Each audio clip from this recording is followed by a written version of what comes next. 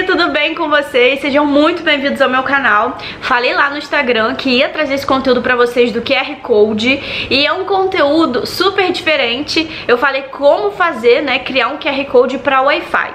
Muita gente tem um problema, né? Eu, por exemplo, eu tenho um problema de esquecer a senha do Wi-Fi. Então, toda vez que algum amigo, enfim, parente chega lá em casa e pede a senha do Wi-Fi, eu esqueço a senha, é todo um rolê pra descobrir. Então eu fiz essa forma mais moderna, descobri pra vocês um aplicativo que cria o QR Code que já manda pro seu amigo, ou enfim, pra sua amiga já com a senha.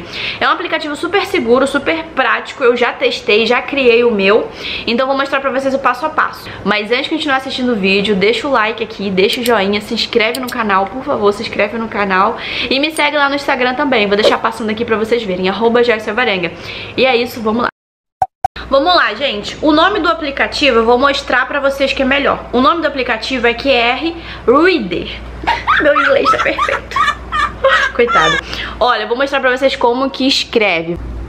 Ó, colocar aqui bem de perto pra vocês verem o nome do aplicativo, QR Reader. Rider, meu inglês perfeito. E é esse aplicativo que vai fazer toda a mágica acontecer. Eu já testei se funciona, como que foi. E assim que vocês baixarem esse aplicativo, ele vai te dar várias opções. Mas antes eu vou só recapitular o que, que ele faz. Enfim, ele gera código e scanner. Então você consegue fazer de uma forma atualizada. Tem a versão grátis, né? A versão que já fica, enfim, gratuita no seu aplicativo. Mas também tem ícones, tem itens que você consegue comprar. Como personalizar o QR Code, você consegue fazer várias coisas. Eu fiz bem básico o teste que eu fiz, eu fiz básico mesmo, QR Code preto e branco. E eu vou mostrar pra vocês agora como que funciona. Vou virar a tela do celular. Logo quando você baixa o aplicativo, ele vai aparecer aqui pra você. Então, logo quando você baixar o aplicativo, ele vai te dar a opção de aceitar, permitir notificações e vai aparecer a câmera, que é essa aqui. Você não vai mexer em câmera nem nada disso, Ó, aí aqui em cima, se você quiser apertar no menu para ver, tem código de digitalização, tem digitar PDF também, né? Digitalizar PDF, tem scanner, URL, um monte de coisa. O que, que você vai fazer? Você vai aqui em cima, nessa setinha, ó, e já vai te dar um perfil com várias coisas online, que é um shopping deles mesmo, tem categorias, tem vários acessórios. Aí você vai nessa, nessa nesse item ao lado, que é um QR Code mesmo, como se você fosse ler. E esse aqui é o Wi-Fi teste que eu fiz, que é o meu Wi-Fi de casa, que é o Thanos. Não ri, gente, mas enfim, o nome do meu Wi-Fi é esse e já tá configurado. Mas agora não, vamos supor que eu esteja baixando agora, como vocês vão fazer a primeira vez, que é o autor. Aí você coloca no certinho e assim que você colocar no certinho, vai te dar várias opções, os tipos. Se você quer texto, um número de telefone, o que, que você quer mostrar nesse QR Code. Se você quer mostrar um perfil do Facebook, SMS, e-mail, um perfil no YouTube. Vocês vão clicar nesse aqui, detalhes Wi-Fi. Você clicou em detalhes Wi-Fi, vai te dar opções que é o SSD. O SSD é o nome do Wi-Fi. Você tem que digitar exatamente como tá no Wi-Fi de vocês. Digitei o Wi-Fi que eu quero salvar aqui. Aí o que, que eu vou fazer? Eu coloquei aqui, casa, underline 2.4, espaço, oi fibra, beleza. Aí assim que vocês digitarem o Wi-Fi de vocês, como tá escrito o nome, vocês vão colocar em concluído. Assim que vocês colocarem concluído, vocês têm que colocar isso aqui, em Crapton. Enfim, não sei pronunciar. E vocês vão colocar a versão WPA. Tem que ser essa versão aqui.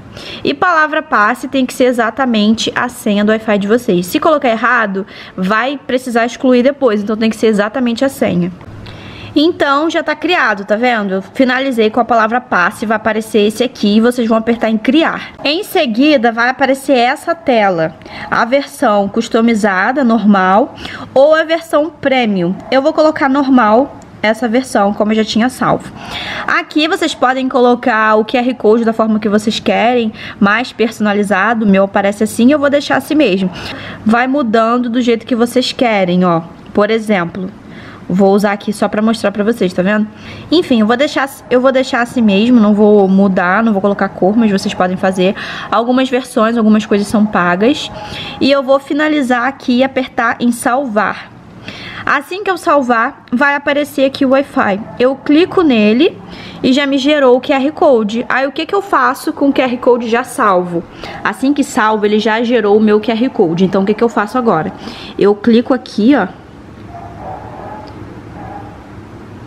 Aí vai me dar essa opção: salvar a história no histórico ou salvar a imagem ou compartilhar a imagem. Eu vou clicar em compartilhar para mim em PNG, que é o, o, tipo de arquivo. Aí o que, que, eu posso fazer? Eu posso guardar a imagem no meu, enfim, no meu dispositivo, no meu celular, ou eu posso mandar para alguém pro AirDrop, pro WhatsApp. O que, que eu vou fazer? Eu vou guardar a imagem. Guardei. Aí agora eu volto lá na minha galeria e assim que eu voltar na minha galeria, a foto vai estar tá essa aqui. Esse é o meu dispositivo de Wi-Fi e já manda com senha. Assim que você finaliza o processo, você envia para alguém ou a pessoa encosta pelo próprio celular e não precisa necessariamente imprimir. Você pode só mostrar o seu celular para a pessoa e ela encostar aqui para ler na câmera dela. Ou se você quiser imprimir, você pode também, você pode pendurar, pode fazer quadros, super legal. Mas esse é o aplicativo e esse é o passo a passo para vocês criarem. Então é isso, gente. Espero que vocês tenham gostado do vídeo passo a passo aí do aplicativo para vocês criarem um QR Code de Wi-Fi. Espero que seja muito útil para vocês. Deixa aqui embaixo, comenta o que, que você achou. Até o próximo vídeo. Tchau!